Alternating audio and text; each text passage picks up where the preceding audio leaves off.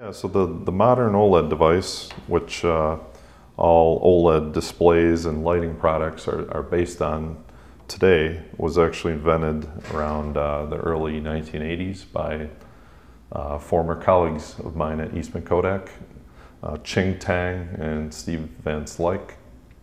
They first published uh, a paper in Applied Physics Letters in 1987 so their device was essentially just a, a two electrode device with a ITO anode and two organic layers sandwiched uh, between the ITO anode and a, a magnesium silver cathode.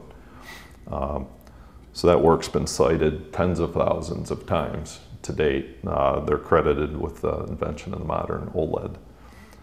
And Kodak actually worked on this technology up until 2009 when they exited the business and uh, essentially uh, sold the technology to uh, LG uh, Display Company of Korea.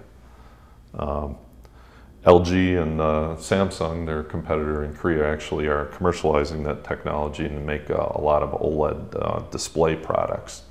for instance, my smartphone here is a Samsung smartphone, but that's a, a nice active matrix OLED display on there most uh, Samsung smartphones and handheld products use OLED displays these days.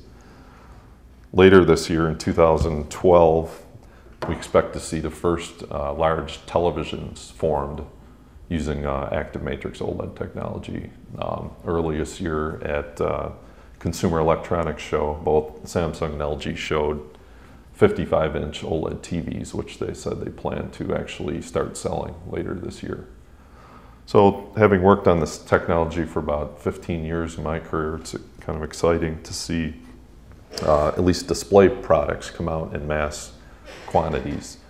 Uh, part of our mission here at Moser Baer is to basically um, commercialize and mass produce OLED lighting technology.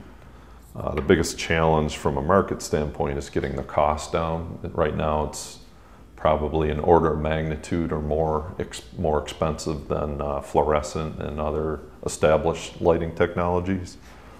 So a lot of our focus here in our pilot lab is to essentially uh, develop the uh, high throughput manufacturing technologies, very using cost-effective materials and techniques, and uh, basically bring that cost down to a point where it's uh, more affordable and can reach uh, mass market um, where it can really then penetrate into, into high volumes.